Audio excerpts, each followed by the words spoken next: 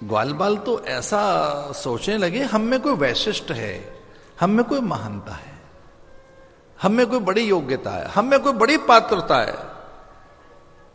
इन इन चीज़ों को थोड़ा भूलना, ये अहंकार की ओर लेकर जाती हैं, ये पतन की ओर लेकर जाती हैं, ये सब चीज़ें आपकी श्रेष्ठता को छुपाती हैं, आपके भीतर की सारी महानताओं को ढक लेंगी।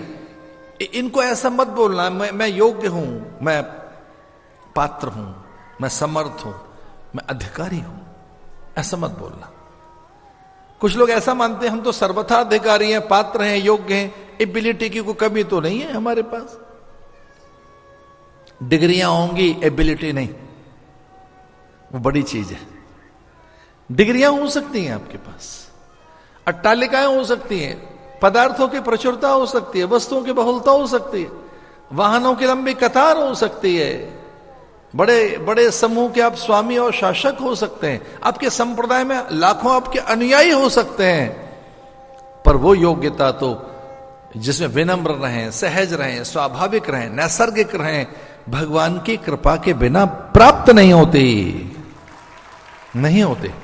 यह गुण साधन ते नहीं हुई। तुम्हारी कृपा पाप कोई कोई। ये गुण, कौन सा गुण? अहमन्यता से मुक्त होना। अहम शून्य होना ये गुण कहाँ से लाओगे कि आप में अहंकार ही न रहे? तो धन्य वही तो हैं जो जिन्होंने अपने मनोविकार जान लिए और उनसे मुक्त हैं। पुरुषार्थी उन्हीं को तो कहेंगे जो अपनी दुर्बलताओं को जानकर उनसे मुक्त होना चाहते हैं।